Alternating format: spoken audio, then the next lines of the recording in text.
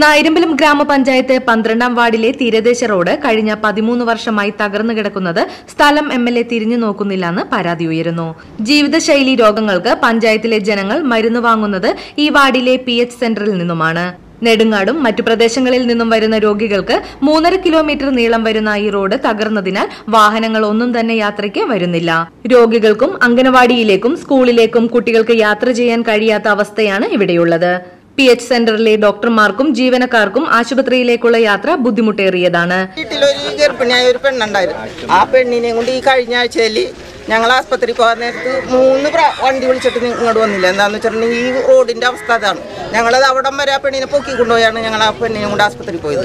നിയമസഭാ ഇലക്ഷന് ഇവിടെയുള്ള എൽ ഡി പ്രവർത്തകർ വന്നിട്ടുണ്ട്. ആദ്യം പറഞ്ഞു വോട്ട് ചോദിച്ചത് എന്താണെന്ന് വെച്ചാൽ എൽ- ശർമ്മയ്ക്ക് നിങ്ങൾ വോട്ട് ചെയ്യുകയാണെങ്കിൽ ഏറ്റവും ശർമ്മ ജയിച്ചാൽ ഏറ്റവും ആദ്യം ചെയ്യുന്ന പ്രവൃത്തി ഈ റോഡിന്റെ പുത്തൻകടപ്പുറം റോഡിന്റെ പണിയായിരിക്കുമെന്ന് പറഞ്ഞിട്ട് നാല് വർഷമായിട്ടും ഈ റോഡിന്റെ ഒക്കെ ഇന്ന് തന്നെ ഇത് തന്നെയാണ്. ഇതിൽ പ്രതിഷേധിച്ച് വാർഡ് കോൺഗ്രസ് കമ്മിറ്റിയുടെയും മണ്ഡലം കമ്മിറ്റിയുടെയും നേതൃത്വത്തിൽ പ്രദേശവാസികളെ സംഘടിപ്പിച്ച് നടത്തിയ സമരപ്രഖ്യാപന സമ്മേളനത്തിൽ റോഡിലെ കുളത്തിൽ വലവീശി മത്സ്യബന്ധനം നടത്തുകയും അതിൽ കുളിച്ചും ജനങ്ങൾ പ്രതിഷേധം രേഖപ്പെടുത്തി.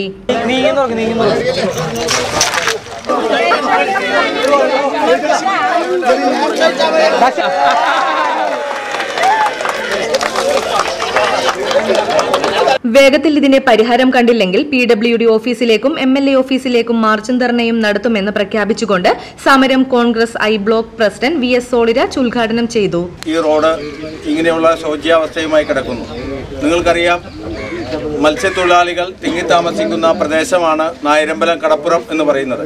കഴിഞ്ഞ പ്രളയകാലത്ത് സർക്കാരിന് പോലും ചെയ്യാൻ കഴിയാത്ത രക്ഷാപ്രവർത്തനങ്ങളാണ് തീരപ്രദേശത്തുള്ള പ്രത്യേകിച്ച് വൈപ്പിൻ തീരപ്രദേശത്തുള്ള മത്സ്യത്തൊഴിലാളികൾ സർക്കാരിനും ജനങ്ങൾക്കും വേണ്ടി ചെയ്തിട്ടുള്ളത്.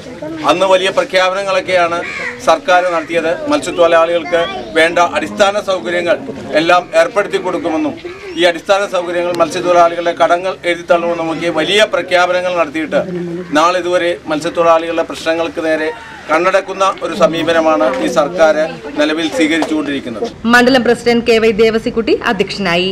വാർഡ് പ്രസിഡന്റ് അനിൽ വടക്കേടത്ത് സ്വാഗതം ആശംസിച്ചു. സമരത്തിന് ഐക്യദാർഢ്യം പ്രഖ്യാപിച്ച് Joby Varghese T N eleven advocate Justin P K Raju Tito Antony K K Dishi Mini Dileep Vikas Santhosh Moideen എന്നിവർ സംസാരിച്ചു.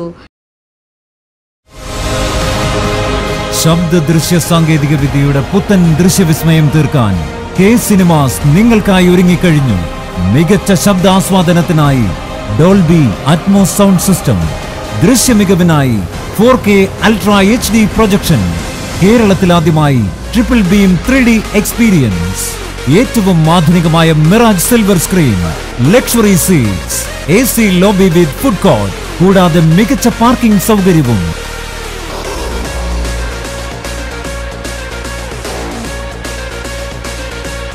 അത്യാധുനിക സാങ്കേതിക വിദ്യയുടെ സഹായത്തോടെ ചലച്ചിത്ര ദൃശ്യാവിഷ്കാരം ആസ്വദിക്കുവാനായി എല്ലാ സിനിമാ പ്രേമികളെയും കെ സിനിമാസ് അഭിമാനപൂർവം സ്വാഗതം ചെയ്തുകൊള്ളുന്നു. K cinemas. ചെറായി അയ്യമ്പിള്ളി